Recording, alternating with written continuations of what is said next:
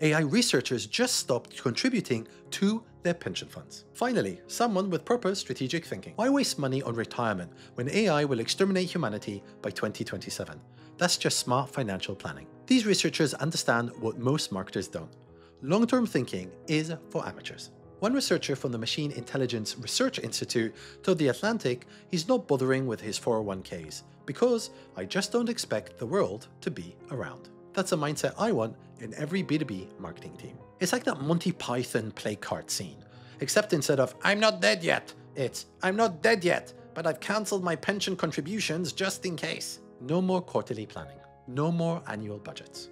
Just pure short-term execution before the robots murder us all with biological weapons. Think about the competitive advantage. While your competitors are wasting time on sustainable growth strategies, you're maximizing immediate ROI knowing civilization ends in 36 months. I've already advised three clients to cancel their rebranding projects. What's the point of developing brand guidelines if super intelligent AI will be mopping up submarine survivors using drones? The best part? When the apocalypse doesn't arrive, you can always claim you were being agile and responsive to market conditions. Either way, you win. That's what separates strategic thinkers from pension contributors.